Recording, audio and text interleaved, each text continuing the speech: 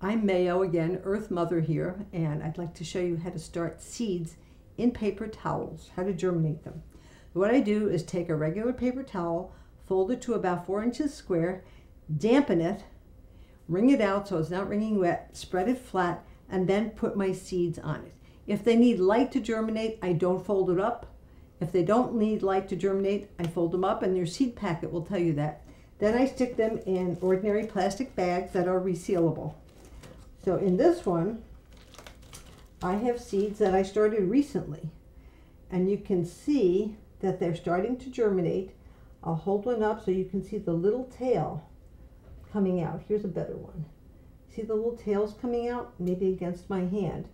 Those are ready. You can plant those in your soil or in your garden just as is and make sure it's you know in damp soil, the soil that's been prepared. Now in the other bag, there are tomatoes that I started about, oh, five days ago, and they are certainly growing happily. You can see that.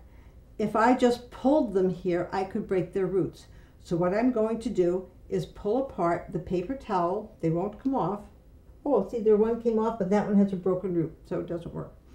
So you want to pull apart the paper towel, and here's one right on the end. It's a perfectly happy seedling. And I'm going to take a pencil and in the soil that I prepared, dig a hole and actually push the entire paper towel down with the pencil and then firm up the soil. I'll show you again. So we're going to pull the paper towel apart. There's whole seedling, the leaves and the roots are in the paper towel.